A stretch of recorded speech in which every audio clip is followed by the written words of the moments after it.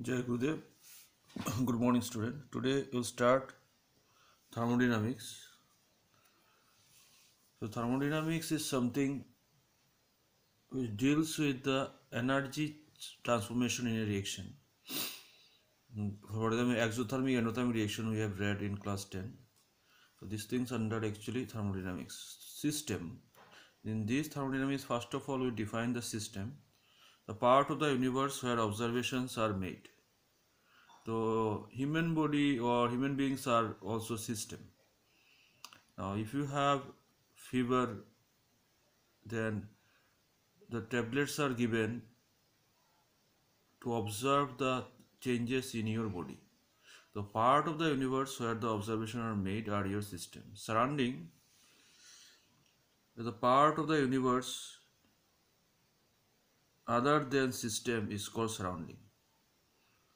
So if you exclude system from the universe, you'll get the uh, surrounding.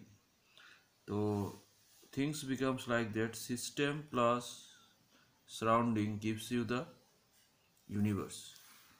So system plus surrounding gives the universe. Then another term is called boundary. The real or imaginary surface that separates system from surrounding is called boundary. So,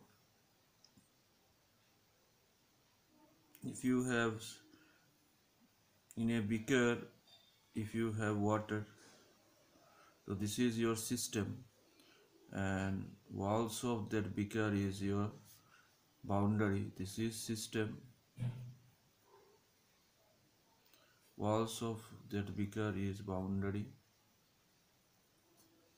and this part outer part is called surrounding.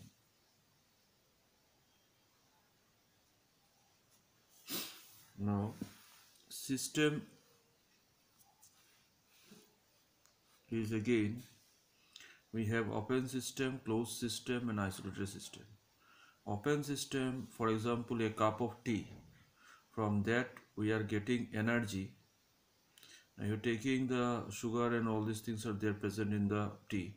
From that we have to get the energy or we are getting the heat energy. And also the matter both the things are available in the open system.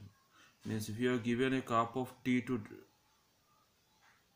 drink then you are getting both energy and matter energy is heat energy.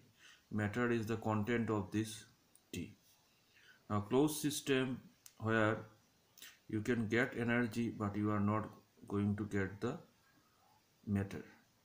For example if you have given a cup of tea and this top of it if you uh, lid of that one is locked then in that case you you have the energy. If you have just touched the walls of that cup you are getting energy but you don't don't have the matter now isolated system where we are not going to get energy as well as matter. Both the things are missing from the isolated system.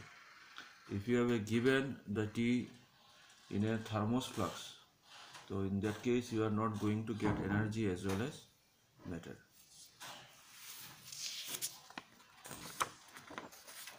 Then we have to read some processes so out of that first process is adiabatic process.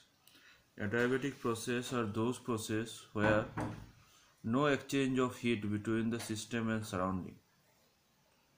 If this is system and this is surrounding so this is your non-conducting walls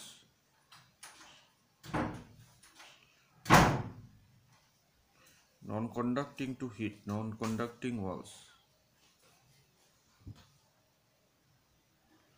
so in that case we are getting the adiabatic process. Means in a system and surrounding there is a no exchange of heat energy between the system and surrounding. This is what is called adiabatic process. Now in therm isothermal process the process in which the temperature remains constant. So if we are doing so any reaction at constant temperature for example if you are doing something some reaction in the laboratory and the temperature remains constant. In this case, called isothermal process. Now, one point to be noticed: if a reaction is exothermic or endothermic, exothermic, then you require to give heat to the surrounding to maintain the temperature. In case of endothermic, you have to take the heat from the surrounding to maintain the temperature. But temperature must be fixed. If, I, if you are doing anything at 20 30 degrees centigrade, throughout the system temperature remains 35 degrees centigrade. So that your T1 is 35 T2 is 35 so del T is 35 minus 35 become 0 then we have isobaric process where the pressure remains constant.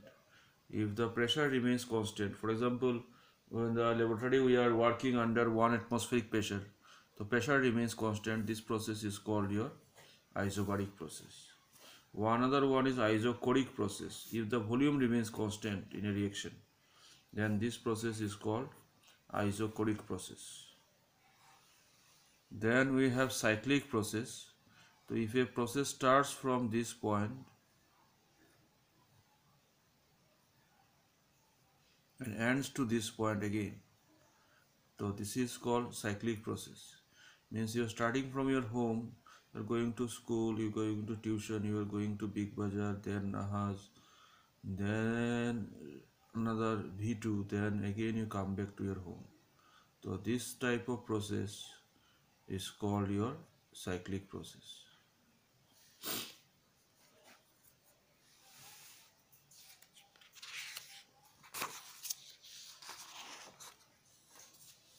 Then we have to start with the reversible process an irreversible process. There are two types of process. One is your reversible process, another one is irreversible process. So if you have a picture like that where the P is the P internal pressure, pressure internal, pressure external. Now if you these things are in equilibrium means external pressure is equal to the internal pressure. Now if you have a pile of sand which gives the pressure. Now you remove one one sand from that one, one one sand particle. Then it seems that the work is do there are external. If you on the removal of one sand only, the external pressure is become less than the internal pressure, although it is very very small. Then piston will going to be upward, but it seems to be there is nothing is happening in that direction but after removing one one one one one one cent then we will see that the piston approaches that. Means a process which carried out in infinitesimally slowly or small steps is called reversible process. And reversible process is that from all the sands are removed at a time then piston will jump to its final destination. So in that case this is called your irreversible process next we have state function.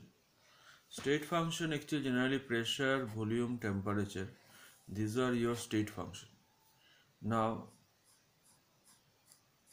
the state function is something where which depends on initial and final state.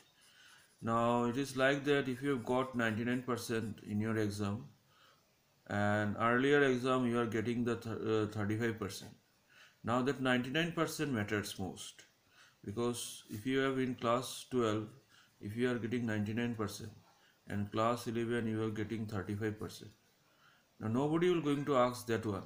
All, the, all of that asks that 99% so a thermodynamical process whose initial and final state matters is called state function. But path function is that when the route is required to mention. Now if you have a five stories building like that so somebody can go there by stairs somebody go uh, there by lift. In that case at this point the potential energy of the person remains same because potential energy dep depends on height. But the work done when he comes by stair is different from the work done by lift. The work is your path function and potential energy become your state function. so these things you remember then we have required to read two more property one is your extensive property another one is intensive property intensive property is something which is independent of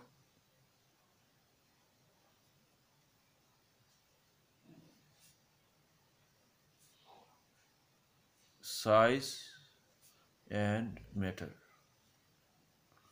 now if you have taking a block like that whose volume is B temperature is T.